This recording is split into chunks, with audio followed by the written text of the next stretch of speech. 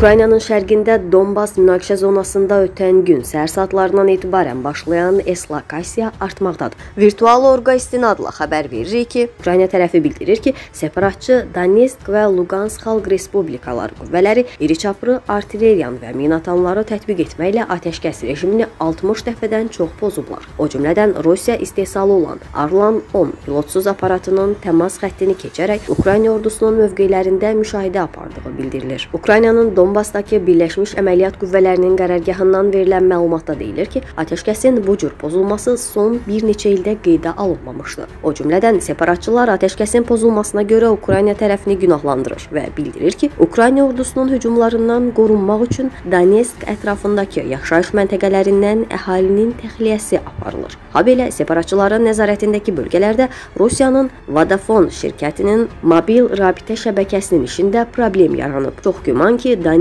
və Lugansk mobil rabitənin kəsilməsi Rusiya ordusunun Ukrayna ilə sərhəddə radioelektron mübarizə sistemlərini, o cümlədən Krasuxa 2 və Krasuxa 4 komplekslərini tətbiq etməsi ilə bağlıdır. Popular Science nəşrinin yazdığına görə bu komplekslər mobil rabitəni, habelə radarların siqnallarını bloklayır. Bu komplekslər indiki halda həm Ukrayna ordusunun bölmələri arasında rabitə əlaqəsini pozmaq, həm Bayraktar TB2 pilotsuz zərbə təyyarələrinin uçuşlarını əngəlləmək üçün tətbiq edilə bilərdi. Ukrayna Ali Radasının deputatı, NATO Parlament Assambleyasındakı Ukrayna nümayəndə heyətinin rəhbəri Yegor Chernov Donbasda baş verənləri Rusiyanın bəhanə yaratmaq cəhdləri adlandırıb. Onun sözlərinə görə, hazırda Rusiya Minsk razılaşmasından çıxmağa və qondarma respublikaları tanımağa bəhanə axtarır. Vəziyyətin kəskinləşməsi də bu bəhanəni əldə etmək məqsədi güdür. Son məlumatlara görə təmas xəttində vəziyyət gərginləşməkdə davam edir və tərəflər bir-birini artilleriya zərbələri endirməkdə günahlandırır.